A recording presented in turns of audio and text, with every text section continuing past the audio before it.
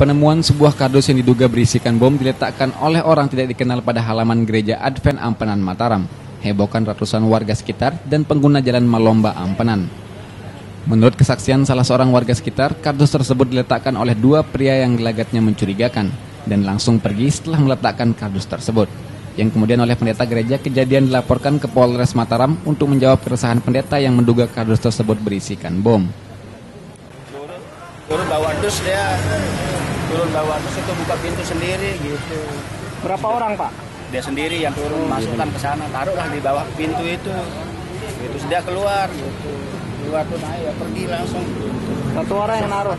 satu dari jam 9 Hingga tidak lama berselang, Polres Mataram pun melibatkan BKO dari tim Gegana Satuan Brimob Polda NTB. Dengan berseragam anti ledak dan persiapan lengkap, para penjinak bom ini perlahan mendekati target untuk melihat isi dari kardus teror yang siap meledakkan gereja tersebut.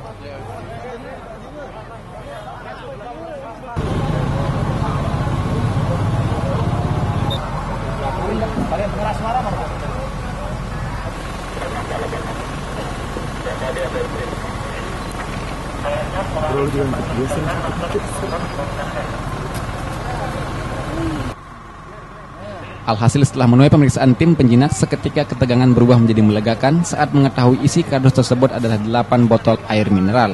Yang diprediksikan oleh pendeta selaku pelapor, air dalam kardus tersebut berasal dari sumbangan jemaat gereja. Dan sang pendeta pun mengklarifikasi laporannya, kemudian oleh polisi kerumunan massa langsung dibubarkan. Saya pulang dari pasar, tiba-tiba ada benda itu.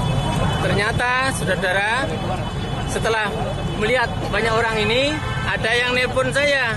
Pak, maaf, saya yang ngasih botol aqua tadi. Jadi, itulah.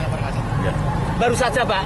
Setelah dia melihat orang banyak ini, dia juga panik. Loh, kok Rupanya Pak Pendeta lapor. Ya, saya lapor ke aparat. Rupanya ada yang nelpon lagi bahwa ada orang yang sengaja menaruh botol aqua di situ. Ini barusan. Maulandar TV 9, Mataram.